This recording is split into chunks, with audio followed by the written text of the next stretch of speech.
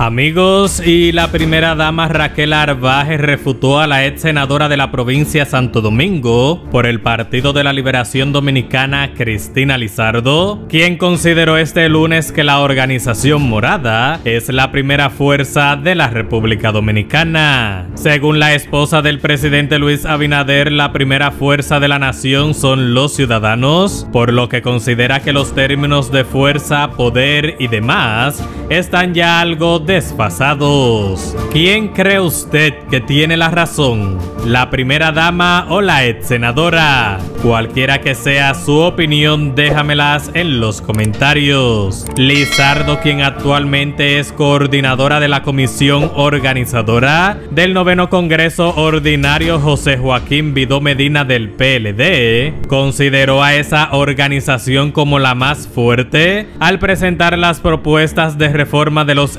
estatutos del PLD y que fueron aprobadas. Hemos considerado que existe y hay un partido completamente sólido y consciente de seguir siendo la primera fuerza de la República Dominicana. Todas estas renovaciones y transformaciones que nos estamos dando y la identificación con la simbología del partido lo va a demostrar. Así lo afirmó la también expresidenta del Senado. La respuesta de Arbaje a la opinión de Lizardo la expresó a través de Twitter y la declaración de la coordinadora del Congreso Ordinario José Joaquín Vidó Medina fue difundida por el periódico El Caribe. El PLD está inmerso en una renovación de sus organismos después de perder las elecciones presidenciales y congresuales realizadas el pasado mes de julio. Esta es toda la información que tenemos por el momento, pero más adelante los mantendremos al tanto con las últimas informaciones de actualidad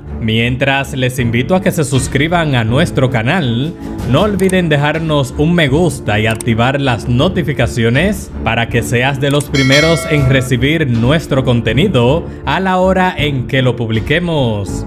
Hasta la próxima.